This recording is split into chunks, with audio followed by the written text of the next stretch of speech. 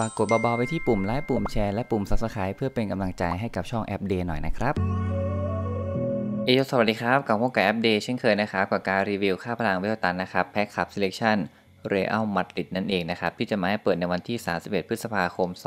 2021 หรือว่าวันจันทร์ที่จะถึงนี้นะครับมีใครกันบ้างเดี๋ยวเราไปดูกันเลยนะฮะเริ่มกันที่คนแรกครับผมกับมิลิเตานะครับค่าพลังโดยรวมนะครับอยู่ที่ 97 บวกจากเดิม 5 เลยทีเดียวนะครับถือว่าบวกเยอะมากๆ ส่วนค่าพลังโดยเฉลี่ยนะครับก็จะบวกประมาณ 3 แล้วก็4นะครับ1ค่าพลังที่บวกให้เยอะที่สุดก็คือบวก 6 เป็นในเรื่องของเกมรับครับและเป็นค่าพลังสูงสุดอีกด้วยเต็ม 99 ไปเลยนะครับส่วนการกดดันเกมเนี่ยก็อยู่ที่ 99 เช่นเดียวกันนะครับเข้าสกัดก็ค่อนข้างดีนะครับพลังกระโดดลูกมงก็โอเคมากๆ แถมยังวิ่งเร็วสปีดต้นดี มีความพิ้วการเข้าปะทะก็โอเคนะครับ นอกจากนี้ยังมีเรื่องของความอึดที่เยอะมากๆ การครองบอลดีฟอร์มการเล่น 5 นะครับ จริงๆเนี่ยภาพรวมของเขาถ้าเราดูเพลินๆนะครับ ก็จะมีแค่เรื่องของการจบสกอร์ที่ดูน้อยที่สุดนอกนั้นก็ทำได้ค่อนข้างดีเลยทีเดียวนะฮะมาในสไตล์การเล่น Build Up นะครับก็จะเป็นกองหลังนะครับ ตัวยืนรอดักบอลนั่นเองนะครับเคยเป็นฟีเจอร์ก่อนนี้ 2 ครั้งเปรียบเทียบกับเวอร์ชันที่ดีที่สุดที่มาจากแพ็กยูฟ่านะครับก็ต้องบอกเลยว่านี่คือเวอร์ชันที่ดีที่สุดณปัจจุบันนะครับ ถึงแม้ว่าจะมีสกิลนะครับแล้วก็การเข้าปะทะเนี่ยลดลงไปเล็กน้อยเท่านั้นนะครับ เช่นเดียวกันกับการเข้าสกัดนะฮะ ไปกันต่อกับเมนดี้ครับ ที่มาในสไตล์การเล่นนะครับ offensive fullback ตัวริมเล่นเน้นเติมเกมบุกเมื่อมีโอกาสนะครับค่าพลังโดยรวมอยู่ที่ 96 บวกจากเดิม 5 อีกแล้ว ถือว่าบวกเยอะนะครับ ส่วนค่าพลังโดยเฉลี่ยนะคะ ก็จะบวกประมาณ 4 นั่นเอง มีบวก 5 หลายค่าพลังเลยนะครับ แต่ว่า 1 ค่าพลังที่บวกให้เยอะที่สุดนะครับ เป็นเรื่องของความแกร่งในการครองบอล บวก 7 เลยทีเดียวนะครับ ค่าพลังสูงสุดนะครับ เป็นในเรื่องของวิ่งเร็วแล้วก็สปีดต้น เต็ม 99 ไปเลยนะครับ นอกจากนี้เกมรับการเข้าสกัดการกดดันเกมเตะแรง ความพลิ้วเข้าปะทะนะครับ พลังกระโดด ความอึด ก็ทำได้ดีมาก ความอึดเนี่ย 98 นะครับ บอกเลยว่าวิ่งสบายเต็ม 90 นาทีแน่นอนครับ ใช้ 2 เท้าดีด้วยนะ ฟอร์มการเล่น 6 ครองบอลก็โอเคครับเพิ่มเป็นฟีเจอร์ก่อนนี้ 3 ครั้งเปรียบเทียบกับเวอร์ชันที่ดีสุด และนี่ก็คือเมนดี้ที่ดีสุดณปัจจุบันนั่นเองนะครับ มาดูกันต่อกับคาเซมิโร่ครับค่าพลังโดยรวมนะครับอยู่ที่ 96 บวกจากเดิม 3 นะครับ มาในสไตล์เล่น Anchor Man นะครับ หรือว่ากองกลางตัวรับลึกนั่นเองนะครับ ส่วนค่าพลังโดยเฉลี่ยนะครับ ก็จะบวกประมาณ 2 แล้วก็ 3 เฉลี่ยเท่าๆกันนะฮะ1ค่าพลังที่บวกให้ที่สุดนะครับ บวก 5 เป็นค่าพลังสูงสุดเลยครับ เป็นเรื่องของการเข้าปะทะนั่นเองนะครับ ภาพรวมดีมากๆนะครับ ไม่ว่าจะเป็นการครองบอลจ่ายบอลสั้นโยนบอลยาวนะครับ ลูกโหม่งพลังกระโดดเกมรับ และการเข้าสกัด การกดดันเกมความอึดก็เยอะมากๆจริง ๆ ครับ นอกจากนี้ยังเตะแรงฟอร์มการเล่น 7 นะครับ เคยเป็นฟีเจอร์ก่อนนี้ 4 ครั้งเปรียบเทียบกับเวอร์ชันดีสุด และนี่ก็คือเวอร์ชันที่เก่งเท่ากันนั่นเองนะครับ แต่ส่วนตัวผมชอบเวอร์ชันใหม่มากกว่านะฮะ เพราะว่า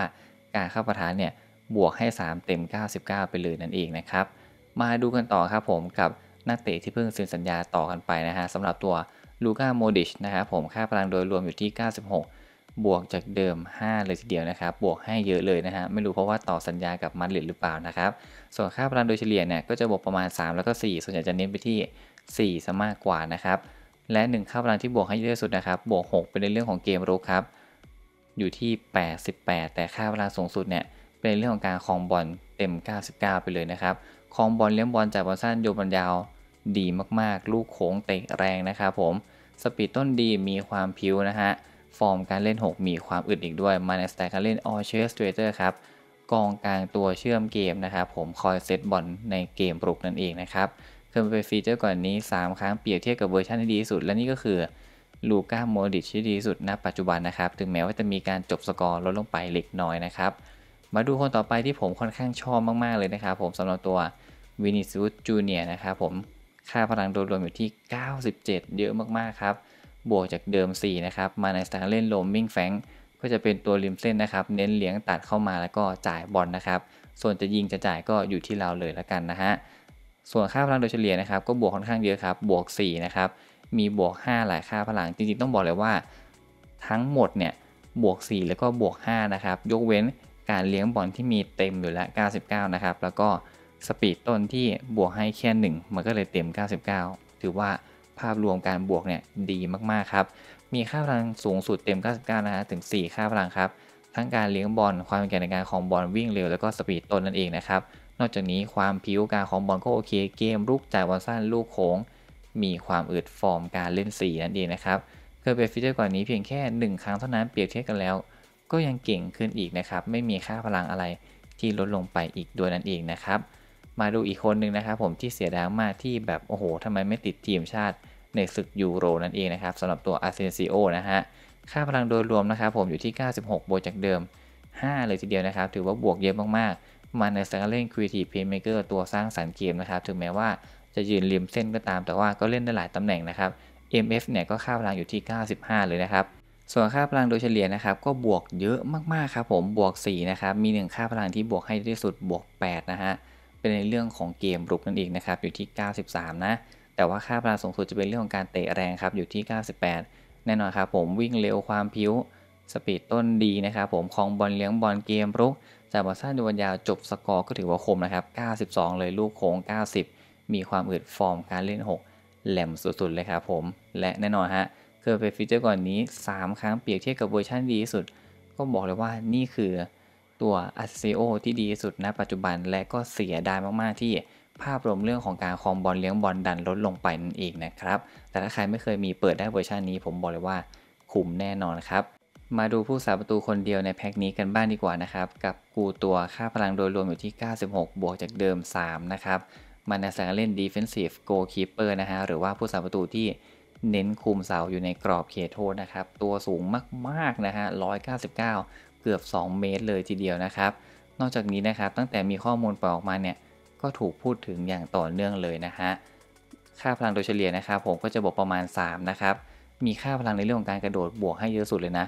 บวก 6 ครับ อยู่ที่ 93 เยอะมากๆครับเข้าปะทะดีเตะแรงส่วนค่าพลังเกี่ยวกับผู้รักษาประตูก็เต็ม 99 ทั้งหมดนะครับเคยเป็นฟีเจอร์ก่อนนี้ 4 ครั้ง